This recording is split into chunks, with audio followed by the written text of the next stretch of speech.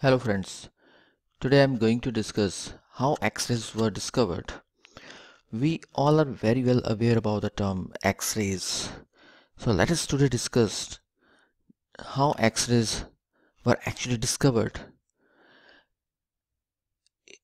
It was discovered by a scientist, Rontgen, and uh, Rontgen was doing an experiment in his lab uh, with the help of electric discharge tube now what is basically electric discharge tube that uh, cathode rays that is fast moving electrons they strike on a target material.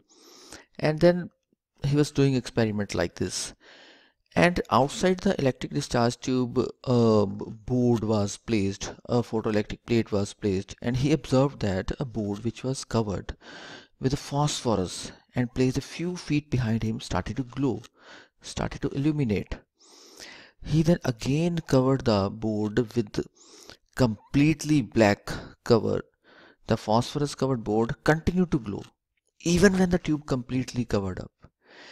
Then he thought that that it was happening due to new types of rays and he studied the properties of these rays.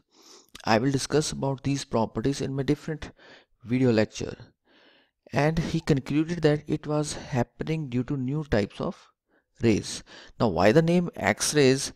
Because uh, as we know in the mathematics we used to write that unknown number is X because the origin of rays were not known then therefore it was named as unknown rays means X rays that's why the name X-rays.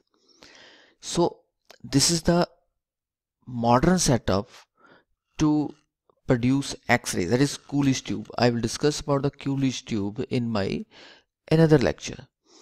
And the Rontgen got the Nobel Prize in Physics in 1901 for the discovery of X-rays and uh, on his honor X-rays are also known as Rontgen rays. So you can say that discovery of X-rays was uh, by chance. In the next video lecture, I will discuss how X-rays are produced. So thank you.